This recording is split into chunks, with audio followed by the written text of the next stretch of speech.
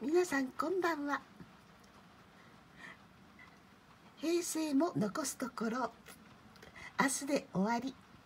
いよいよ令和という新しい時代の幕開けです。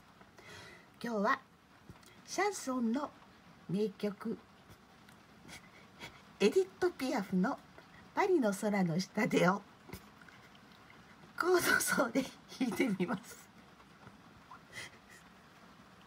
いつも笑い声にひそひそ話がたくさんのピアノ教室です。